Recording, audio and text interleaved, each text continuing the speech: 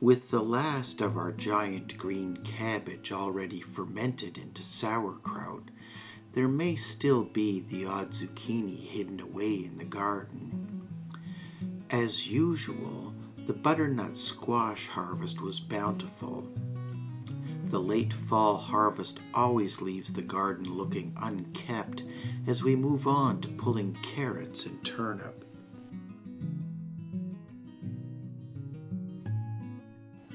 The rain barrels are drained, cleaned, and put away for winter storage.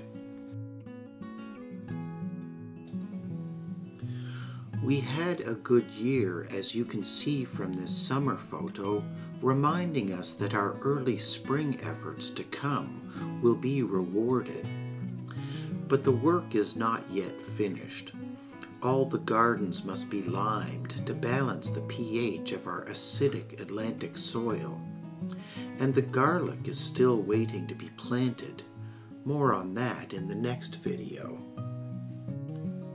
We'll remain optimistic throughout the winter months as our cold frames will provide us with a bounty of fresh greens. Being able to grow our own food year round, even at higher latitudes, provides a connection to the earth below our feet that will keep us going until the spring gardens again look like this. If you like this video, please give us a thumbs up. If you want to see more, please subscribe and share it with your friends. Until next time, this has been Homestead Homebodies. Thanks for watching.